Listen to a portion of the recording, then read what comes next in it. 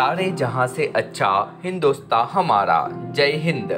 आप सभी को गणतंत्र दिवस की हार्दिक हार्दिक शुभकामनाएँ। मोहन सिंह लोधी सरपंच, मिहिलाल यादव सचिव, चंद्रभान सिंह लोधी सहायक सचिव, जनपद पंचायत जबेरा, ग्राम पंचायत बिजोरा।